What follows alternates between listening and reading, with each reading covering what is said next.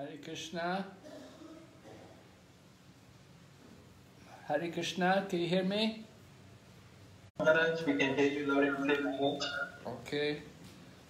Yeah, we had a, a very big storm here just now, so maybe the line will be unstable today.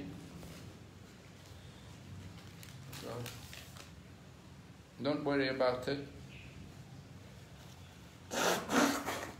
Okay, Maharaj. Just one of these things. So, the translation of the Ishavasya, Mantra 1. Anybody remember it now?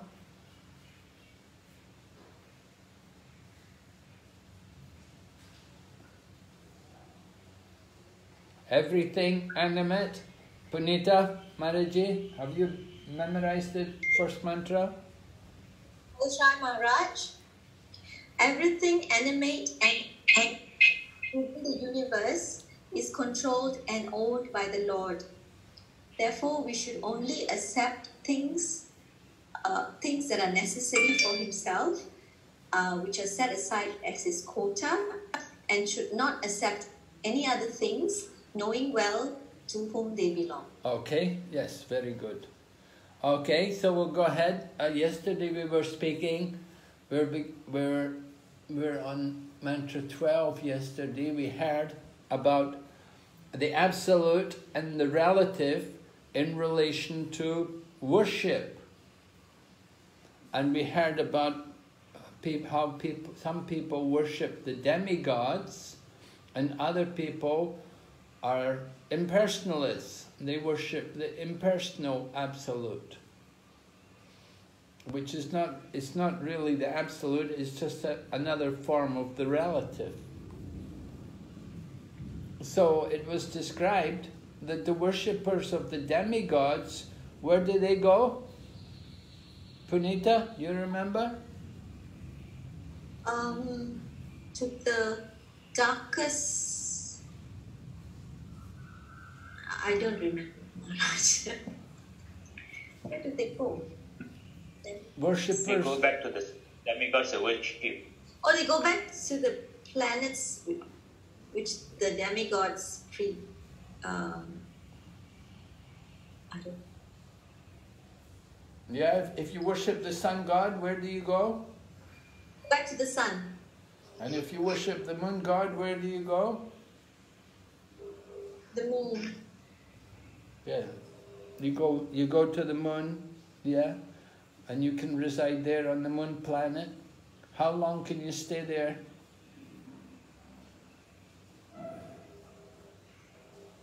Um,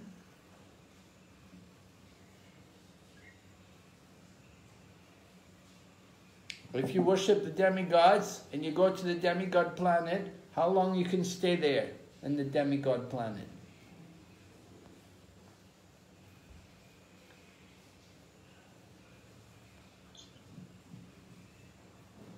Anybody? Nandini? you can stay until your all your punyas run out. All right. Yes. Right. That's right. You can you stay there until you finish up your pious activities, and when your pious activities are finished, then what happens? Then you go back to the material world. Well, the demigods are also in the material world. Don't think because you go to the planets of the demigods that you're going to the spiritual world. The demigods are also in the material world. You didn't leave the material world. When you went to the planets of the demigods, you went to their planet, but their planet's also in the material world. The sun and the moon is in the material world. It's not in the spiritual world.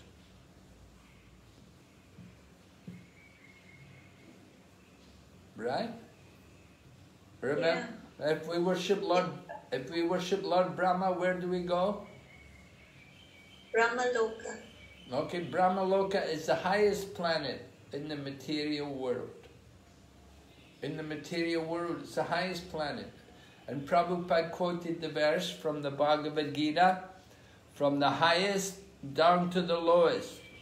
From the planet of Brahma down to the lowest. All are places of what? You know? Misery. They're, Temporary misery. they're all places of misery. Why?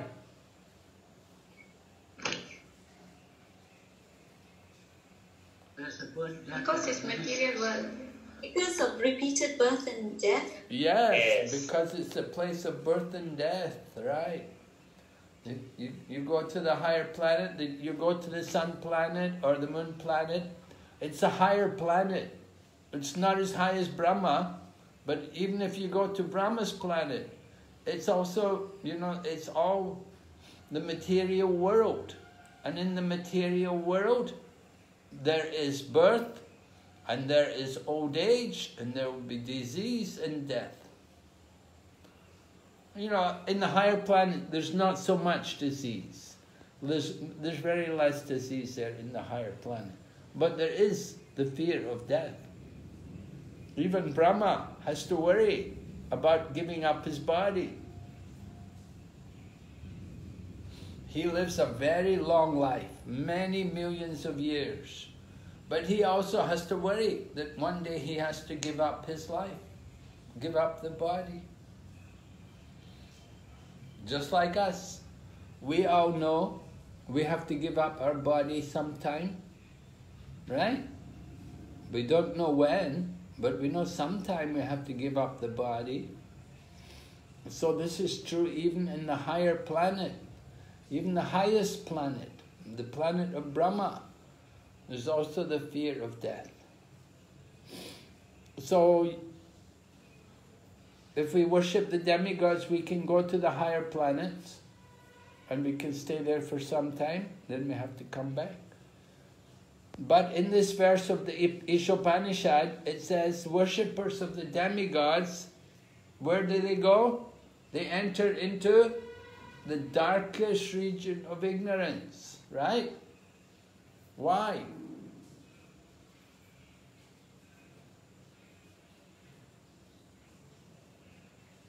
Punita, do you know? Mm.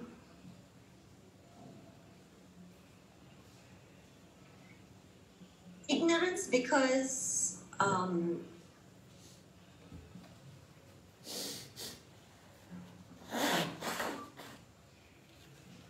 no Maharaj. Sorry. Okay, okay. So uh, the reason is because this is the material world. And even the higher planets, you know, you worship the demigods and you may go to the higher planets for some time, but it's still in the material world. And the material world, remember how it was described? The mater- each universe, what is it like? How is the universe con- constructed? What is it like? You remember anybody?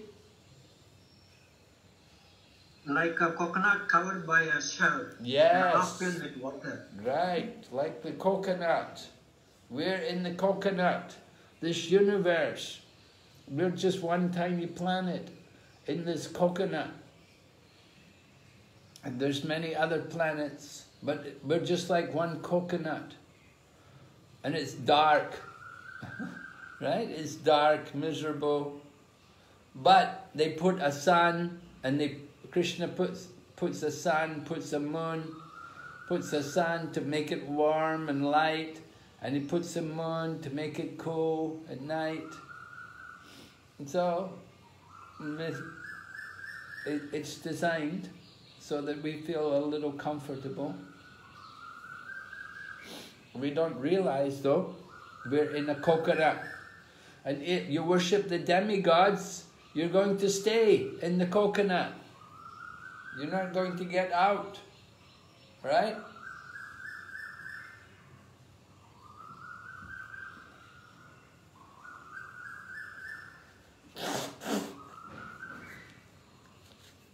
But then the verse also talks about the the so-called worshippers of the Absolute. What is their situation? Where do they go?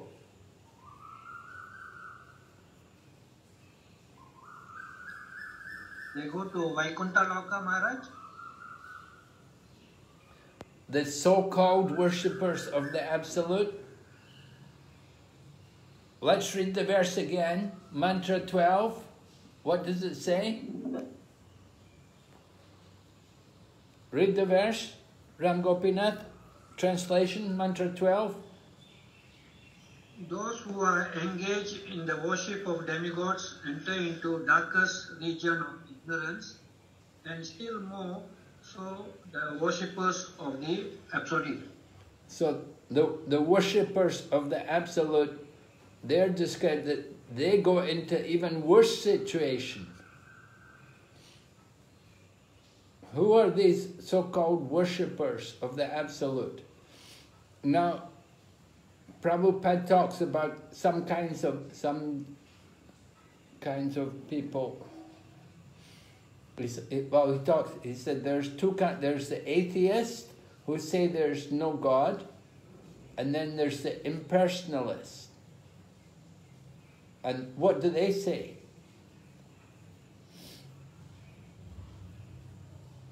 What do the impersonal atheists say? There's no God, and they say time of death everything is finished.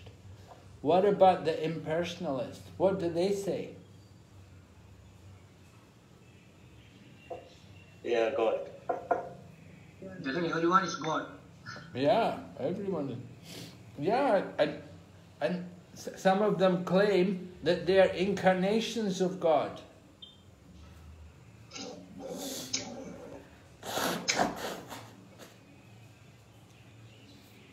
Some of them claim that they're the incarnations or they're the acharyas.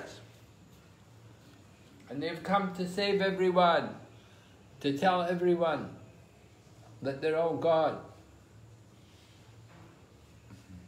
So, and these people are cheaters. They don't teach the real knowledge. Of course, there are some people, there are some impersonalists who are not so bad. They just, they, they don't deny they don't deny God, they just don't know. But they're just attracted to the impersonal Brahman. And they may do good, they may follow, they may be moral, they follow good principles, they're very disciplined and sense controlled, and they're detached from sense gratification.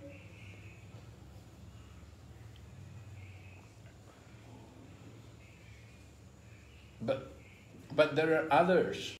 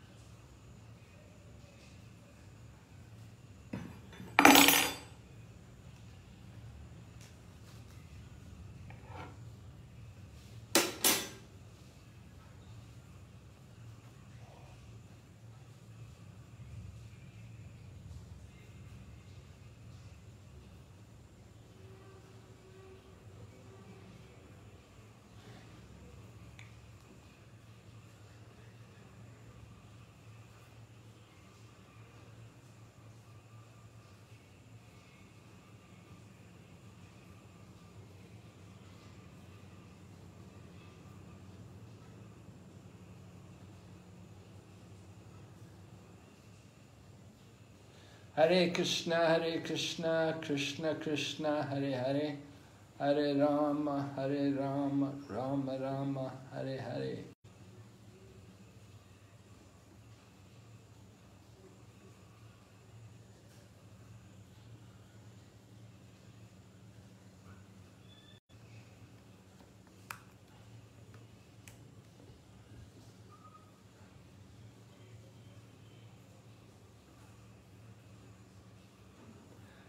Hare Krishna, Hare Krishna.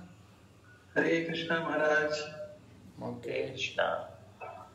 Okay, Hare Krishna. Back again.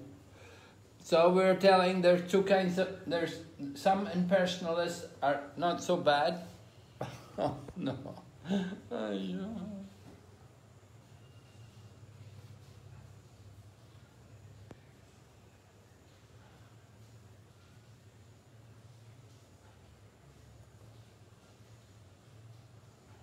Hare Krishna, can you hear me?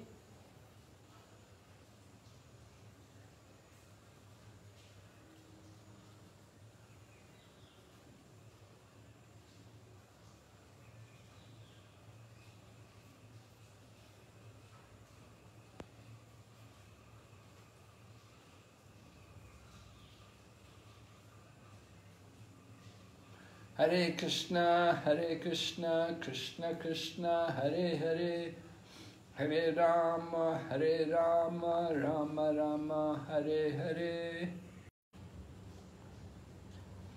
Hare Krishna, Hare Krishna, Krishna Krishna, Hare Hare, Hare Rama, Hare Rama, Rama Rama, Hare Hare. Hare Krishna, Hare Krishna, Krishna Krishna, Hare Hare, Hare Rama, Hare Rama, Rama Rama, Hare Hare. Hare Krishna, Hare Krishna, Krishna Krishna, Hare Hare, Hare Rama, Hare Rama, Rama Rama, Hare Hare.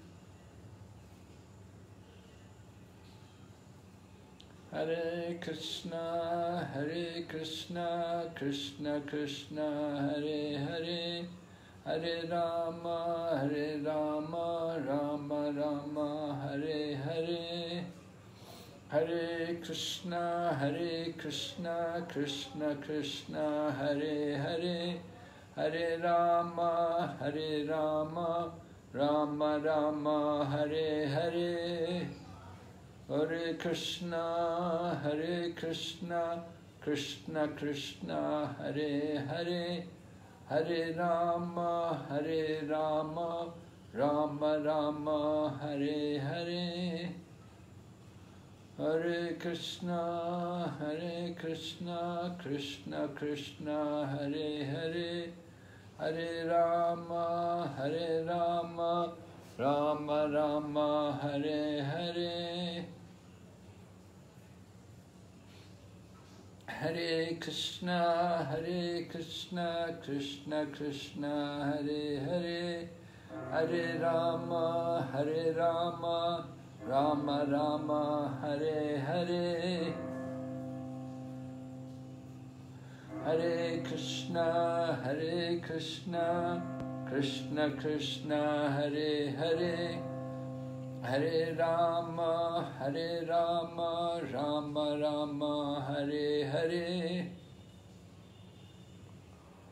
Hare Krishna, Hare Krishna, Krishna Krishna, Hare Hare. Hare Rama, Hare Rama, Rama Rama, Hare Hare. Hare Krishna, Hare Krishna, Krishna Krishna, Hare Hare. Hare Rama, Hare Rama, Rama Rama, Hare Hare.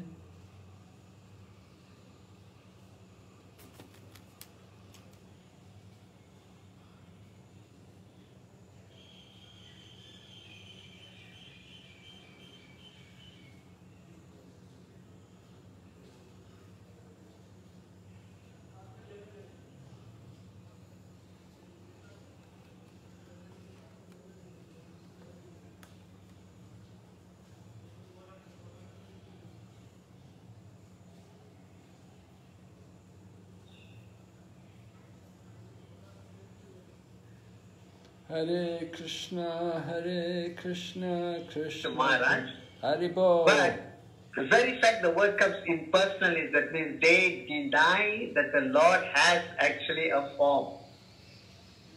That's one a nice way to look at it. Jaga Prabhu, Maharaj is online, I think. Okay, thank you. Yeah, Hare impersonalist. Krishna Maharaj. Hare Krishna. Maharaj, Jolene Mataji has a question. Yes? Um, I was just trying to distinguish the impersonalists and the pseudo religionists. I could not distinguish them very clearly. Although I do know that impersonalists uh, does not accept the personal feature of the God and thinks everyone is the God, I could not understand how do you identify a pseudo religionist. Well, the pseudo religionists can be also impersonalists. Yeah. Yeah, it just means that they're, they're not genuine. Pseudo pseudo religionists means they're not very genuine in their approach to religion. That they may be they may be practicing they may be practicing only for for name and fame. They make they Okay. make, make a show. They want to get recognition. They want to be known as some kind of religious person, but they're not actually genuine in their practice. So they can be also So- could be also impersonalists. So I would say that um, another a category of impersonalists is the pseudo religionist. Yes. It can be also the atheistic, right? Uh, it could they could be they could be, but that they pretend to be religion. They tend they pre- pretend to be religion religious, but they may be atheistic. They may not actually believe in God, because if they claim themselves to be God, then then it's then that's like atheism. They deny the existence of the real God. They say that, oh, I am myself God, we are all God. Then this is like atheism, practically. Thank you, Maharaj. Okay, so maybe we'll go ahead to the mantra, the next mantra.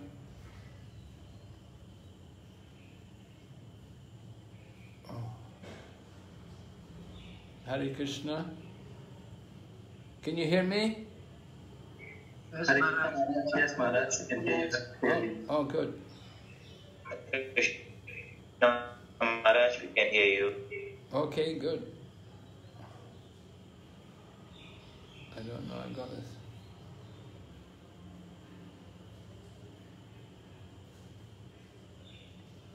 Okay, who would like to chant mantra 13? Punita Maharaji, you want to chant? Go ahead, Panita. Yes, ma'am. Anyad evahu sambhavad. eva evahu sambhavad. Anyad ahu asambhavad. Anyad ahu asambhavad. Ishushmad. इति सुषुमातिरनम् Inastat vicha taksire. yenata vichakshakshare. Translation It is said that one result is obtained by worshipping the supreme cause of all causes, and that another result is obtained by worshipping what is not supreme. All this is heard from the undisturbed authorities who clearly explained it. All right, so speaking about uh, worship, right? We're hearing about in the first previously we were hearing about knowledge. Now we're hearing about worship. Yesterday also was about worship. So one result is worshiping the supreme, and the different result is obtained by worshiping what is not supreme. That sounds reasonable. That sounds very logical. We how could it be the same? But not everybody agrees like that. And some people say, oh no, it's all one, it's all the same. So we'll go, we're going to hear about this in Srila Prabhupada's purport. Please go ahead, Punita. Yes, Maharaj. The system of hearing from undisturbed authorities is approved in this mantra. Unless one hears from a bona fide acharya who is never disturbed by the changes of the material world, one cannot have the real key to transcendental knowledge. The bona fide spiritual master, who has also heard the Shruti Mantras or Vedic knowledge from his undisturbed acharya, never present, presents anything that is not mentioned in the Vedic literature. In the Bhagavad Gita, chapter 9, verse 25, it is clearly stated that those who worship the the what's? Pitris. trees or forefathers attain the planets of the forefathers. That the, the gross materialists who make plans to remain here stay in this world, and that the devotees of the Lord who worship none but Lord Krishna, the supreme cause of all causes, reach him in his spiritual sky. Here also in Sri Ishopanishad, it is verified that one achieves different results by different modes of worship. If we worship the Supreme Lord, we will certainly reach Him in His eternal abode. And if we worship demigods like the sun god or moon god, we can reach the respective planets without a doubt. And if we wish to remain on this wretched planet with our planning commissions and our stop gap political adjustments, we can certainly do that also. Thank you. So Srila Prabhupada points out differences. He said, if you worship the forefathers, the forefathers are called the Pitris. So there's a special planet where the forefathers reside. It's called Pitri Loka. And so if you worship the forefathers, you go there. Right? Some people, it's common, they worship the forefathers and then they go to that planet where the forefathers are. And some people, but it's in the material world. It's not a spiritual planet. It's in the material world. And you go there with your pious activities, and when your pious activities are used up, you come back. And gross materi materialists, they like to stay here. So they stay here. And the devotees worship the Supreme Lord, then they can go to the spiritual, the spiritual world. Okay, so different, different place. Go ahead. Someone else like to read? Who's can read for us? Madhu Madhu Tosi, Madhuya Tosi. Madhuri Tosi. Is she here? Madhuri Tosi Madhuji, you there? Can anybody hear me? Yes, Maharaj. Oh. Mother, Mother Mata is here. Oh, ah, she's not there? Madhuri Tosi? No, she's here. She's here, Maharaj. Okay, so tell her to read.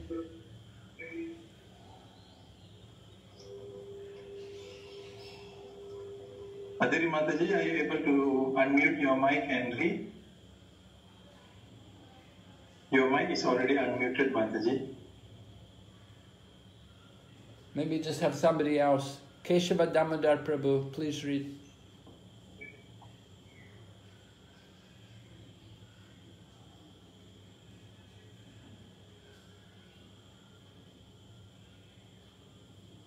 Maharaj Keshav Prabhu is not here, Maharaj. Oh, okay. Ram Gopinath Prabhu, can you read? Maharaj.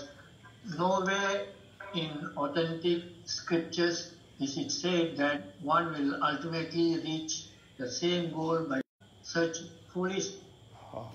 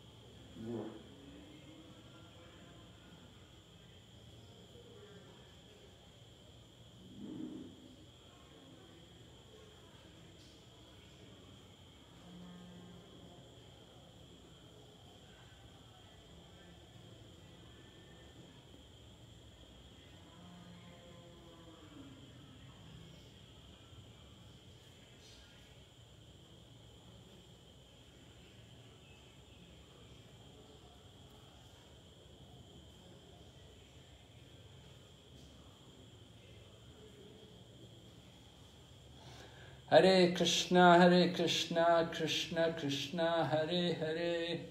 Hare Rama, Hare Rama, Rama Rama, Hare Hare. Hare Krishna, Hare Krishna, Krishna Krishna, Hare Hare. Hare Rama, Hare Rama, Rama Rama, Hare Hare.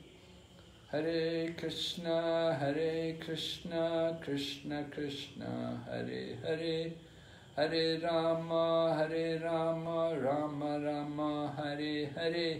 Hare Krishna, Hare Krishna, Krishna Krishna, Hare Hare. Hare Rama, Hare Rama, Rama Rama, Hare Hare. Hare Krishna, Hare Krishna, Krishna Krishna, Hare Hare. Hare Rama, Hare Rama, Rama Rama, Hare Hare. Hare Krishna, Hare Krishna, Krishna Krishna, Hare Hare. Hare Rama, Hare Rama, Rama Rama, Hare Hare. Hare Krishna, Hare Krishna, Krishna Krishna, Hare Hare. Hare Rama, Hare Rama, Rama Rama, Hare Hare. Hare Krishna, Hare Krishna, Krishna Krishna, Hare Hare. Hare Rama, Hare Rama, Rama Rama, Hare Hare. Hare Krishna, Hare Krishna, Krishna Krishna, Hare Hare. Hare Rama, Hare Rama, Rama Rama, Hare Hare. Hare Krishna, Hare Krishna, Krishna Krishna. Um, where was I? Um, Maharaj has joined Guru. Hare Krishna Maharaj. Hare Krishna Prabhu. Hare Nice to have you back, Maharaj. Yeah, really. Hare Krishna. Want to see now? Okay. So did you read this paragraph yet? About buying Yes, a Maharaj, ticket? just now I continue reading. Did you read it? About person buys a ticket from Calcutta to reach Yeah, complete reading the whole paragraph. Okay, so you, know it's it's uh, some people there's some people who put this philosophy around that all the paths lead to the same thing. All the paths lead to the same place. That's what they say. It's a com. It's a saying. They say yatamat tatapat in Bengali. They say all the paths, many paths, but the goal is the one. They come to the same thing. So Prabhupada is arguing, is pointing out this is not logic. It's not logical like that. You buy a ticket from Bombay to Calcutta, you go to Calcutta. You don't go to Chennai. You don't go any other place. You go where you buy the ticket, where you buy your ticket to go. You go to that place. So we have to understand how this this kind of thinking is wrong. People and people who teach like that, they're cheaters. If somebody said, "Oh, it's all one, just do what uh, all the paths lead to the same thing," this is all bogus. This is nonsense. And Prabhupada said, "This is not what the parampara teach. This is not what's taught by the system of disciplic succession." So we have to understand things properly. Okay, go ahead. When Lord Sri Krishna, When Lord Sri Krishna was present on this earth, the Bhakti Yoga principles defined in the Bhagavad Gita had become distorted. Therefore, the Lord had to re-establish the disciplic system beginning with Arjuna, who was the most confidential friend and devotee of the Lord. The Lord clearly, told Arjuna in Bhagavad Gita 4.3 that it was because Arjuna was his devotee and friend that he could understand the principles of the Bhagavad Gita. In other words, only the Lord's devotee and friend can understand the Gita, Gita. This also means that only one who follows the path of Arjuna can understand the Bhagavad Gita. Okay, so Prabhupada is arguing more that you want to understand Krishna's teaching, you have to be a devotee. You have to be you have to you have to be qualified. You want to follow the path of Arjuna. You have to be qualified. This is the disciplic succession. We have to hear from the teacher. We have to have a teacher. And if the teacher teaches you, oh, it's all one, it's all the same, then you know that teacher's a rascal, he's a cheater. Don't follow him. Krishna doesn't teach like that. Okay, go ahead. Somebody else like to read? What about Gandharvika Radharani? Is she here today? Gandharvika? Not here? Yes, would you like to read first, please? Sure, At the present moment, there are many interpreters and translators of this sublime dialogue who care nothing for Lord Krishna or Arjuna.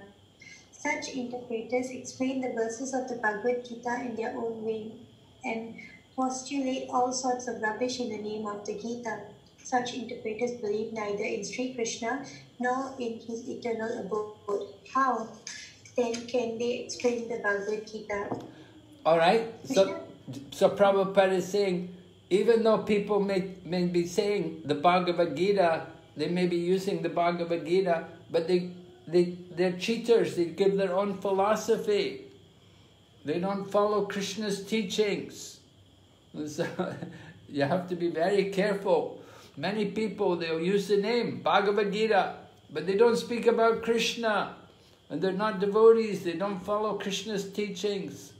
So don't follow them. Don't be cheated. Go ahead, Gandharvika. Krishna clearly says that only those who have lost their sense worship the demigods for paltry rewards. Bhagavad Gita, chapter 7, text 20 and text 23. Ultimately, he advises that one give up all their other ways and modes of worship and fully surrender unto him alone. Bhagavad Gita, chapter 18, text 66. Only those who are cleansed of all sinful reactions can have such unflinching faith in the Supreme Lord. Others will continue hovering on the material platform with their paltry ways of worship and thus will be misled from the real path under the false impression that all paths lead to the same goal. All right. Yeah, so, so what kind of people worship the demigods? What, what, what is their mood? People worshipping the demigods. What do they want to get from the demigods? The mode of passion, Maharaj. Yeah? Why? What do they want? Passion means desires, right? Passion means they have a lot of desires and ambition. So why are they worshipping the demigods? What do they want? Material benefit. Material benefit, Yes. Like what? one's child, money. Okay. Yeah, these kind of things, right? Yeah. So many things, right? We can worship demigods for these things.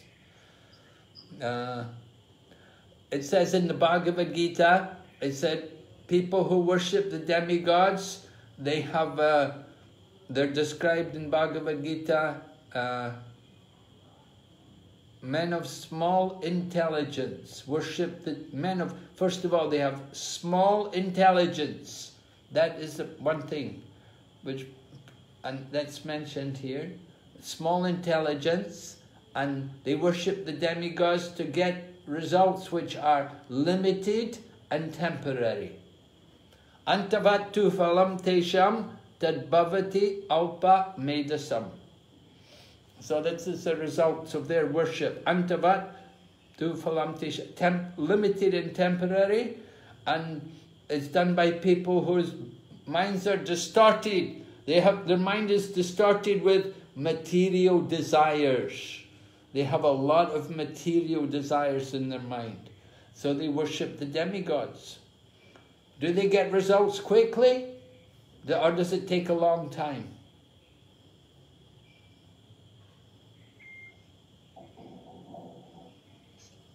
Anybody know? Probably, but it's not a fulfilling result, I suppose. I mean, I believe. Yeah, quickly they get results. Yeah, you worship the demigods, you get results quickly. But of course, it's temporary. It's a material result. Yeah. You get one thing, then you want something else. You won't be satisfied. We won't be satisfied. We want something more. Right? You know, you, you may worship Krishna, you may worship the demigod, you want a child, then you get the child, but then you get another problem, oh, the child's sick. Oh, worship the demigod to get better. you know, like this. Then worship the demigod, oh, my child going to school, help my child pass the exams. Oh, my child has to going to get married, let her get married to a good person. Like, you know, it goes on and on. But if we surrender if we surrender to Krishna, then that's the best. If we surrender to the Supreme Lord, that's much better. Prabhupada said, only those who are cleansed of all sinful reactions can have unflinching faith in the Supreme Lord. Oh, so we may say, oh, oh, I'm not, I haven't got free of all my sinful reactions yet. Well, we can do. We can get free of our sinful reactions very quickly. What do we need to do? How do we get free of our sinful reactions? Anybody know?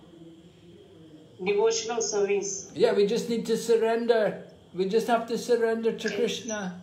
If we call to Krishna, I surrender to you. Krishna said, one surrenders to me, I will free you from all sinful reactions. Do not fear.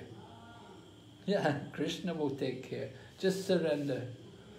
Others, they will continue in the material platform with their paltry. Paltry means, oh, not very strong, weak ways, methods of worship, very insignificant. Be, and will be misled from the real path under the false impression. They're thinking, all paths lead to the same goal. What a joke! It's impossible. How could all the paths lead to the same goal? One person is in Penang and somebody's driving up north. He's going up to, to uh, up to the border into Thailand, and somebody else is going down to KL. Is it go all going the same same goal? No, very different it's just not logical to say all the paths lead to the same goal. And the Bhagavad Gita doesn't say that. Okay, Gandharvika Radharani, can you keep reading, please? Sure, Maharaj. In this mantra of the Sri Isopanisad, the word Sambhavat, by the worship of the Supreme Cause, is very significant. Lord Krishna is the original personality of Godhead, and everything that exists has emanated from him. In the Bhagavad Gita, chapter 10, text 8, the Lord says, Aham sarvasya prabhavo mata sarvam pravartate iti matva bhajate mam mudabhava samanvitam. I am the source of all spiritual and material worlds. Everything emanates from me. The wise who perfectly know this engage in my devotional service and worship me with all their hearts. Oh, okay. So Prabhupada is quoting Bhagavad Gita here. He wants us to understand why we should worship Krishna. Because Krishna is the cause, he's the, he's the supreme cause, right? He's the absolute. But if you worship the demigods, this is something relative. They're not absolute. Demigods are not absolute. Krishna is absolute. He's the supreme. Okay, who's next to read? What about um,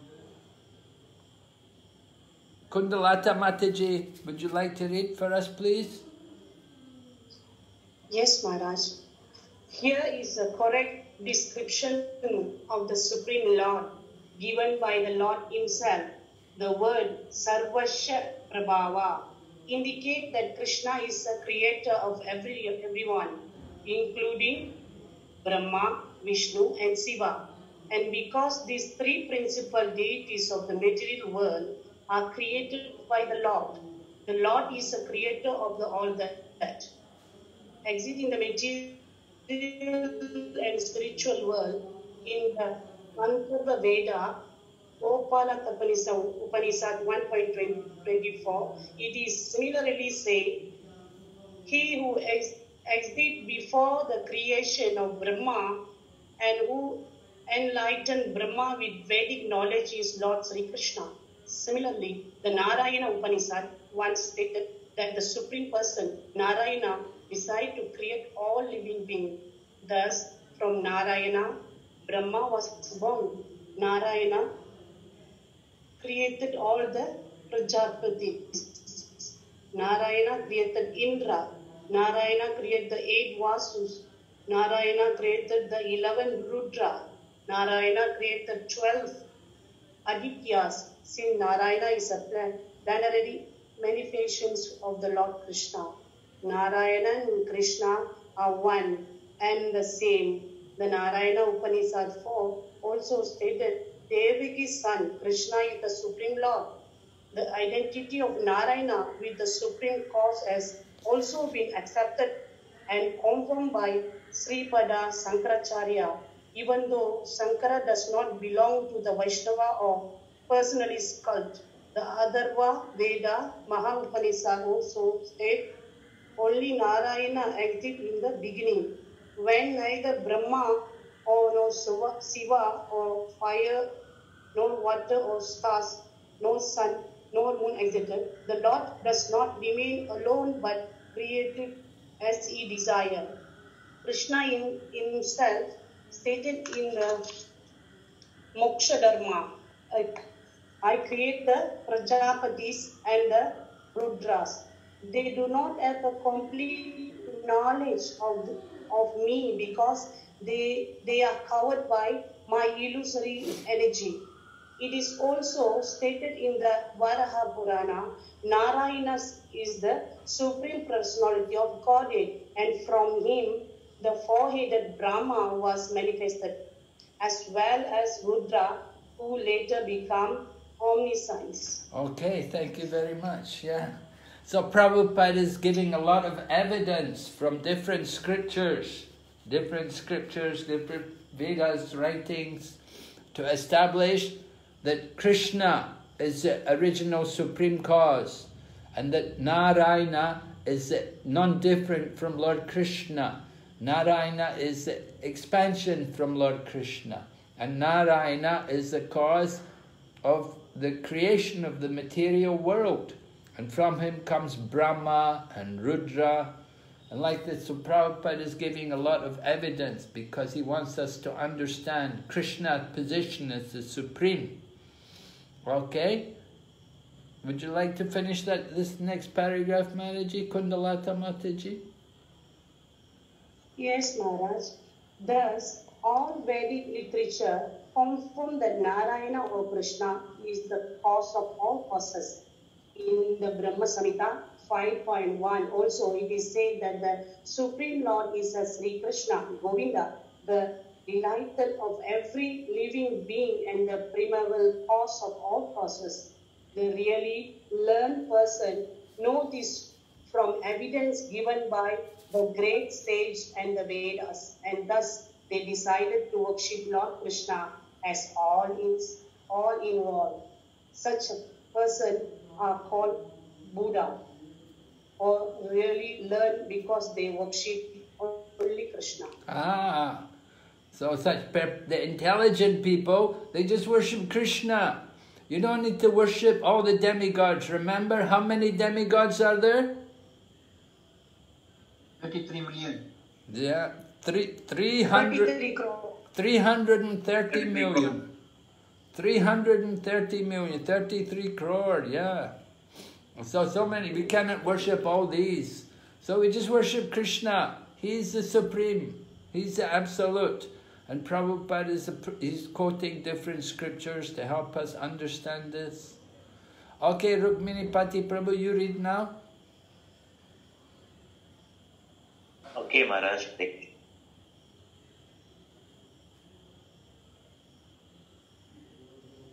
Thus, all Vedic literatures confirm that Narayana or Krishna is the cause of No, all no, causes. the conviction. The The conviction.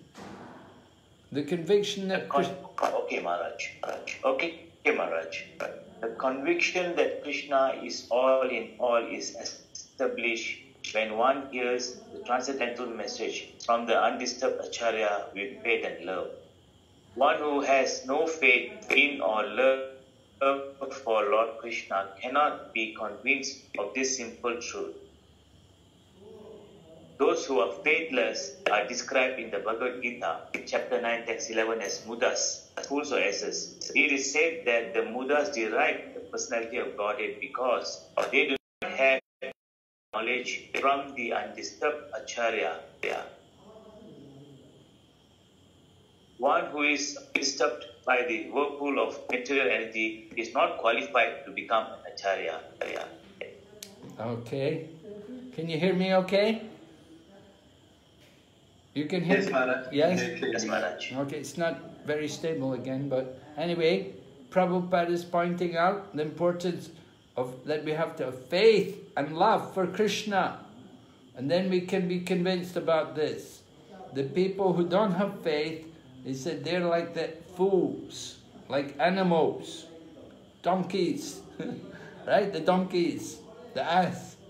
Donkey only knows to work hard to eat grass. Donkey, very stupid animal. And so people like some people are like that. They have no faith. They cannot understand that there's a God, that there's a person behind this universe. And so if we hear from the acharyas, then we can be convinced.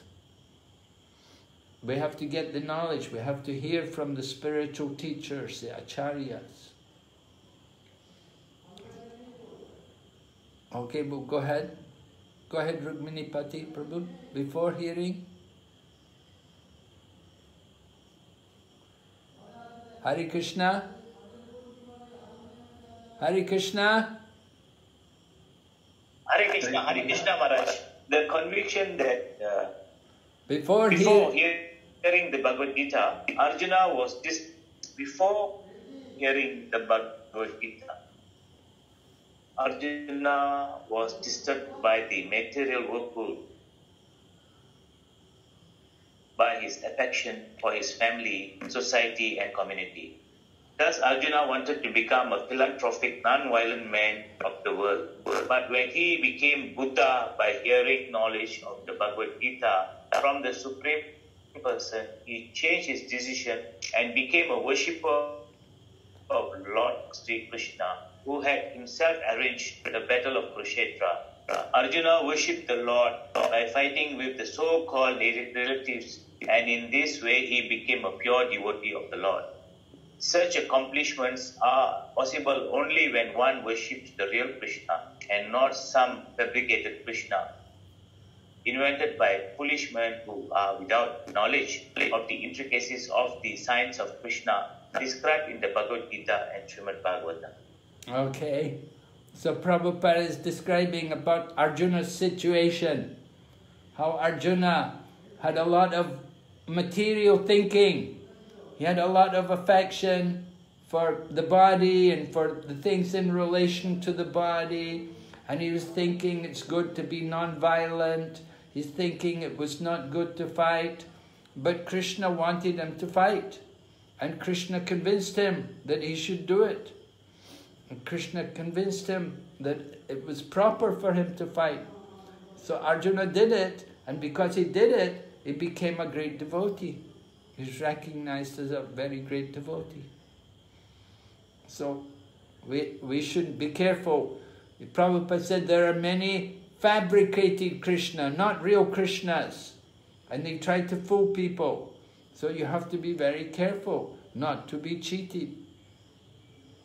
Okay, who's next to read for us? What about Tanusha? Oh, Tanusha Mataji, are you here? Yes, Maharaj, Hare Krishna. Hare Krishna. According to the Vedanta Sutra sambhuta is the source of birth and sustenance, as well as the reservoir, reservoir that remains after an annihilation. Janmadi Ashya Yataha. The Srimad Bhagavatam, the natural commentary on the Vedanta of all emanation is not like a stone but is abhij, abhijna or fully conscious. The prim, primeval Lord Sri Krishna also says in this Bhagavad Gita, chapter 7, text 26, that he is fully conscious of the past, present, and future, and that no one, including demigods such as Shiva and Brahma, knows him fully. Certainly, half educated spiritual leaders who are disturbed by the tides of material existence cannot know him fully. They try to make some compromise by making the mass of humanity the object of worship, but they do not know that such worship is only a myth because the masses are imperfect. The attempt by these so-called spiritual leaders is something like pouring water on the leaves of the tree instead of the roots. The natural process is to pour water on the root, but such disturbed leaders are more attracted to the leaves than the root, despite the, they are perpetually watering the leaves. However, everything dries up for want of nourishment. Okay, so Prabhupada is give, giving a very important example here, an analogy. Very important to understand this analogy. Prabhupada says, the attempt by these so-called spiritual leaders is like pouring water on the leaves of the tree. What are the leaders trying to do? What are they trying to do, the leaders, these so-called leaders? Watering the leaves. Yeah, what? But what are they doing actually? Why? Why is what? Why does Prabhupada say they're like watering the leaves? What are they doing? Misleading. In what way? Misleading the masses of people into a different directions of thinking, not on the correct path to spiritual spirituality. Yeah, they're, Prabhupada said they're half-educated spiritual leaders. Half ed, they know a little, but they don't know it properly, and they only know a little. And they're disturbed by the tides of material existence. So they don't know Krishna fully. They try to make some compromise, make some adjustment by making the mass of humanity the object of worship. So what do they do? They say, don't worship God. They say, worship man. Worship the people.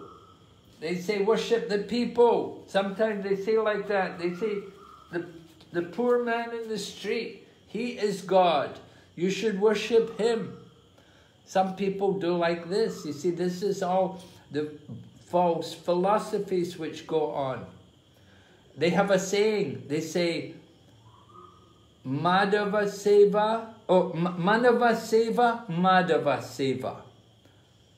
Can you understand the meaning? Manava Seva, Madhava Seva. They're saying by worship, by service to people, yes. you're serving God.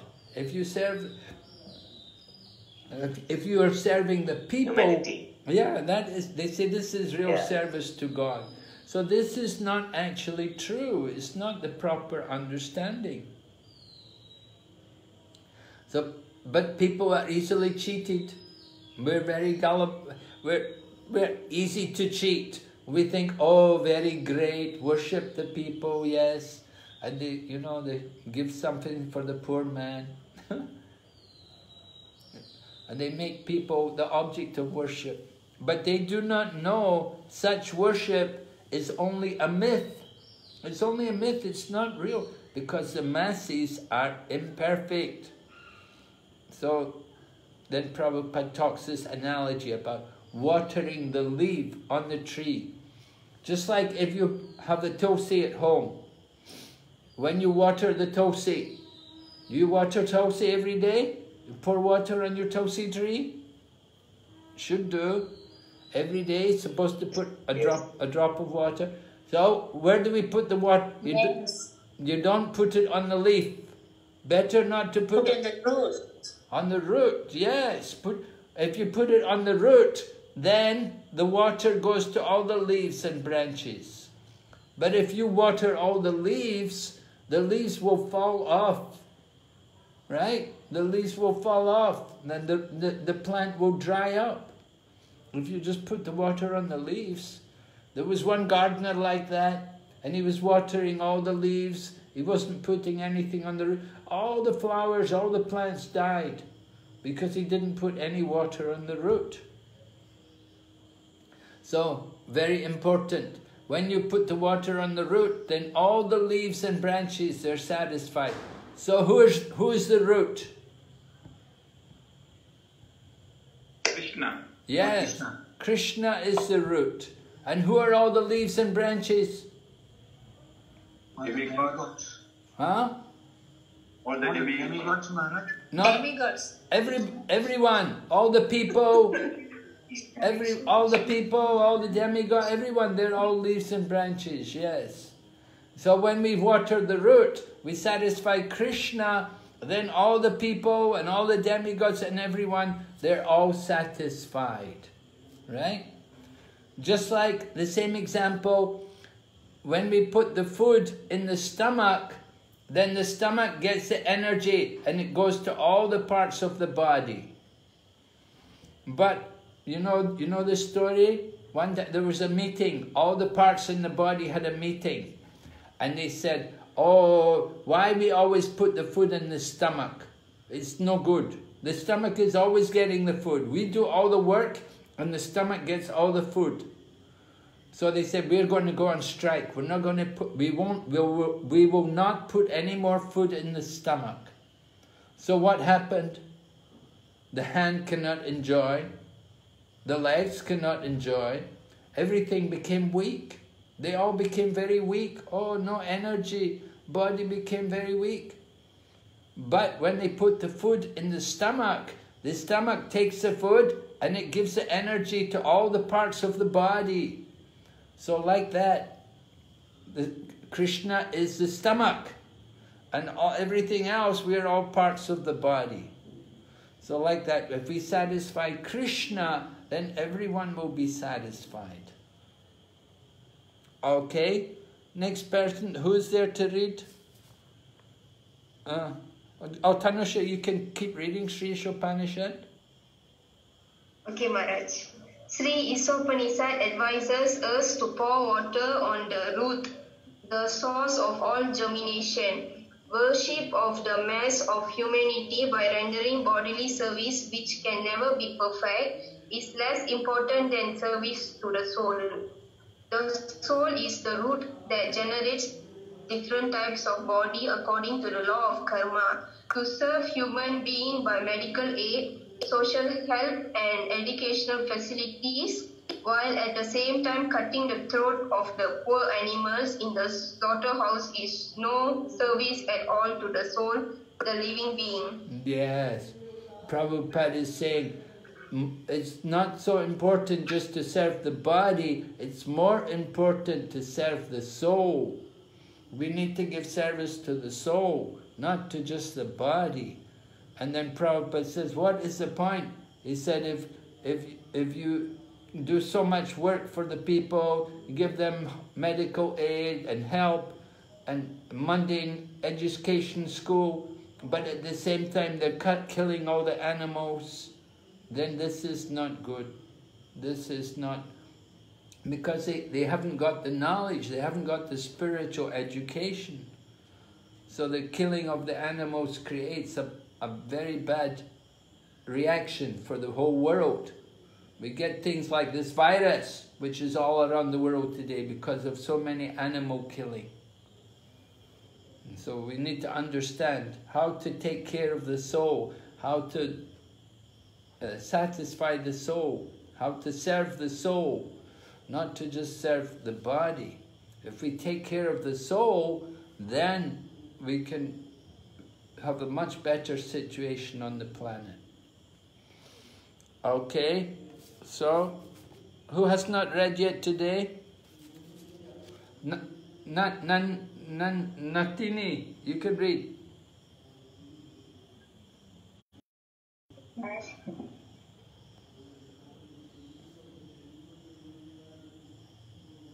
Nandini, you there? Nandini, are you there? She's not there. The, living being, are you able to hear us? Yes, sometimes I can hear you, not very well. Okay, go ahead. Nandini always has a problem. sorry Maharaj, the living being is perpetually suffering in different types of bodies from the material miseries of birth, old age, disease and death. The human form of life offers one a chance to get out of this entanglement simply by re-establishing the lost relationship between the living entity and the Supreme Lord. The Lord comes personally to teach this philosophy of surrender unto the Supreme, the Sambhuta. Real service to humanity is rendered when one teaches surrender to and worship of the Supreme Lord with full love and energy. That is the instruction of Sri Isopanisad in this mantra. Okay, thank you very much. So Prabhupada is describing real service to humanity is to teach them to worship and to surrender to the Supreme Lord. That is the real service to humanity. That will solve all the problems of the planet. Okay, Mary, are you there today? Mary? Uh, yes, Maharaj, yes. You can read the, the simple way. Yes. Okay. The simple way to worship the Supreme Lord in this age of disturbance is to hear and chant about his great activities. The mental speculators, however, think that the activities of the Lord are imaginary. Therefore, they refrain from hearing of them and invent some word juggling without any substance to divert the attention of the innocent masses of people. Instead of hearing of the activities of Lord Krishna, such seduced spi- spiritual master advertise themselves by inducing their followers to sing about them. In modern times, the number of such pretenders has increased considerably and it has become a problem for the pure devotees of the Lord to save the masses of people from the unholy propaganda of these pretenders and pseudo incarnations. Yeah, the pseudo incarnations. Pseudo incarnations means they're not genuine incarnations. Remember, how do you how do we know who's a genuine incarnation and who's a pseudo incarnation? Who's just a pretender? Can you say, Mary? Do you remember? Uh, the genuine incarnation will be written in the scripture. Yes, right. In the Yes. scripture. Yes. Yeah. They're all the, the real incarnations are all mentioned in the scriptures. They're described where they will take their birth and who the parents will be and what their activities will be. But these people come along and they claim that they're incarnations and foolish people believe them. And some Prabhupada writes about some of the problems which come up. When we talk about the activities of the Lord, then these people say, oh, this is not real, this is just imaginary. Oh, they say five Pandavas, oh, they're not real. They say five Pandavas just mean five senses. And Kurukshetra, no, it's not real, it's just the Kurukshetra is the body. They say like, it's not true. There were five Pandavas and Kurukshetra is still there. You can go to Kurukshetra. It's a place. And so these people, they, but they're, they're, they're so rascal. They say, oh, it's all imagination, don't believe it. But uh, they will, they will make up their own, they will juggle everything. They will give it some other meaning. You see, try, they try to get the, the take the attention of the innocent people because there's so many people who don't know and there's and we're so easily cheated. Remember, we studied in the beginning cheaters and the cheated. Prabhupada said only two kinds of people, the cheaters and the cheated. So people are easily cheated. Instead of hearing about Krishna from the real spiritual teachers, they hear from the wrong people. And they get the, they get people even to sing songs. Instead of singing songs about Krishna, they have them sing songs about themselves. And Prabhupada said that this time there's more pretenders than ever. We got one lady, we had one lady, in, that she, this was in China. What happened was, uh, she said Krishna came to her and told her, Bhagavad Gita is too old. Krishna wanted her to write a new book. So she wrote a book. She wrote a book, she called it Bhagavad Gita Song. Pujavanga song, you know, and people, oh, people loved it. So many people became her followers. Oh my God! And you, you know, she, it was so bogus, so nonsense. And she gave them initiation. She gave them a name and everything, because she'd been coming to us and she'd been watching us, and she thought she said, "Well, I can do all this myself." And so she wrote her own book completely rubbish book, such nonsense, stupid things. But people are so stupid, people are so easily cheated. This Kali Yuga. And so we have to be very careful. We had trained, we told so many people, be, there must be a disciplic succession. But still the woman comes along and, you know, she smiles at them and they, and they follow her. She got so many followers and she took so much money from them as well. They just come to get the money. This is the whole thing. People are so stupid.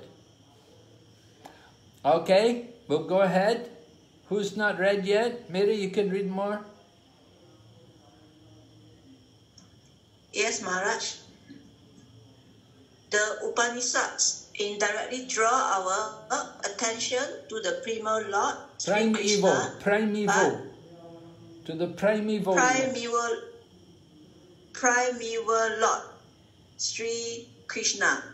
But the Bhagavad Gita, which is the summary of all the Upanishads, directly points to Sri Krishna. Therefore, one should hear about Krishna as he is by hearing from the Bhagavad Gita or Srimad Bhagavatam, and in this way, one's mind will gradually be cleansed of all contaminated things. It's Srimad Bhagavatam uh, 1.2.17 says, By hearing of the activities of the Lord, the devotee draws the attention of the Lord. Thus, the Lord, being situated in the heart of every living entity, living being helps the devotee by giving him proper directions. The Bhagavad Gita 10.10 confirms this. Dadami buddhi yogam tam yena mam upayanti te. Okay, thank you. Yeah, Prabhupada is quoting Srimad Bhagavatam and Bhagavad Gita, how Krishna helps the devotee when somebody is sincere, right?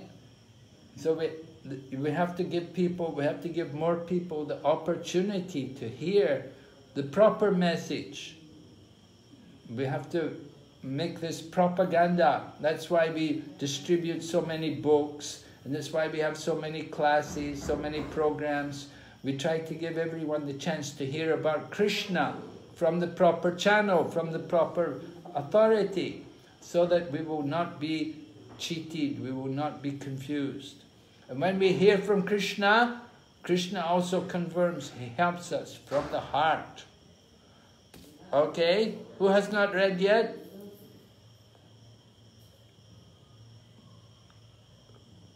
Who's not read yet? Indrani? Indra- I will. Hare Krishna Maharaj, have read now. Who's this? Indrani. Indrani, yeah, please. The Lord's inner direction cleanses the devotee's heart of all contamination produced by the material modes of passion and ignorance. Non devotees are under the sway of passion and ignorance. One who is in passion cannot become detached from material hankering, and one is one who is in ignorance cannot know what he is or what the Lord is. Thus, when one is in passion or ignorance, there is no chance of self realization.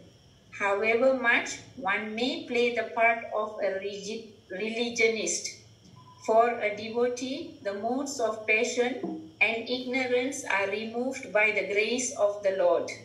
In this way, the devotee becomes situated in the quality of goodness, the sign of a perfect Brahmana.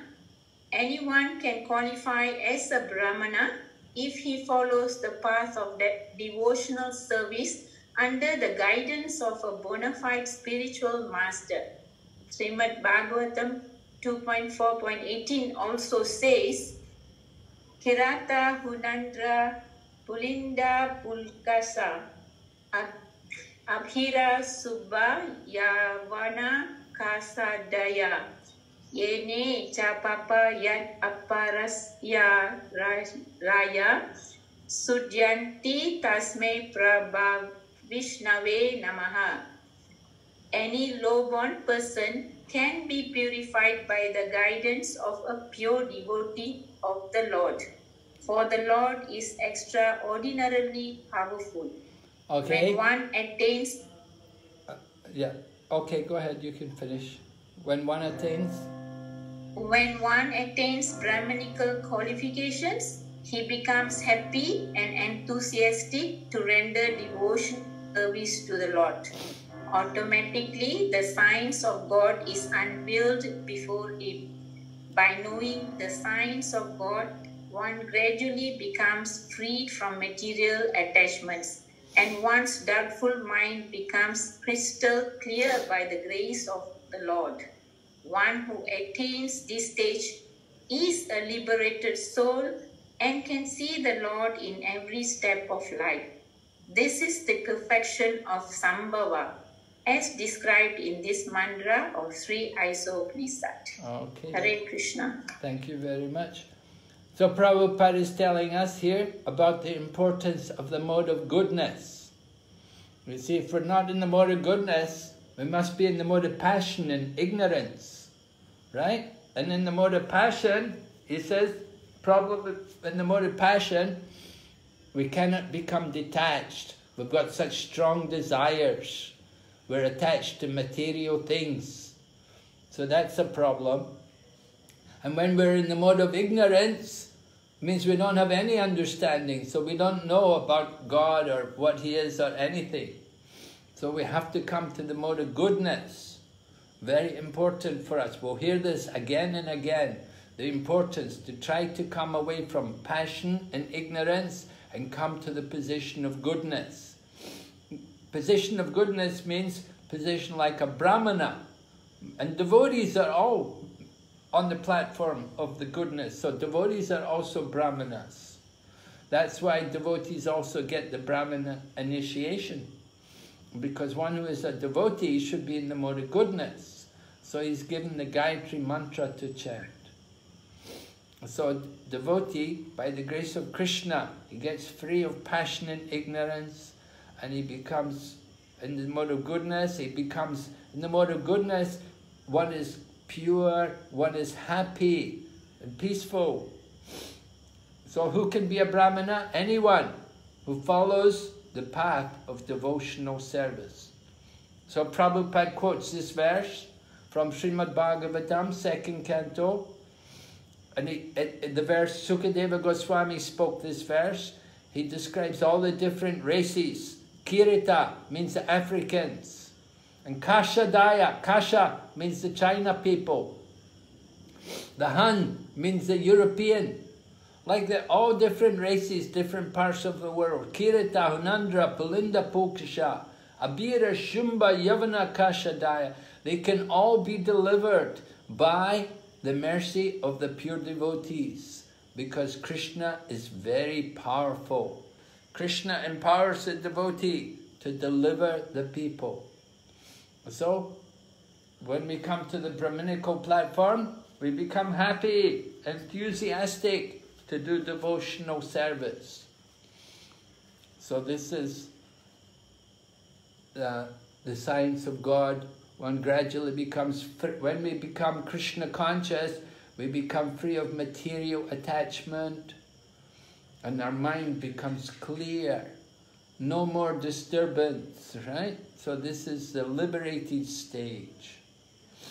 So this is being described here. Okay, so if you have questions, you can keep them for tomorrow. Anybody have a question just now? You don't have too many questions, eh? All right. Did you get my, my did you get that uh, website I sent to you about the film? To look at the film about scientific proof of God? Yes, Maharaj. Okay, so you can look at that movie. It's good to study that. Hear that movie again. Many points about how to how to argue. Huh? Many points show us in that movie it tell you how, how you can present scientific proof, logical proof about the existence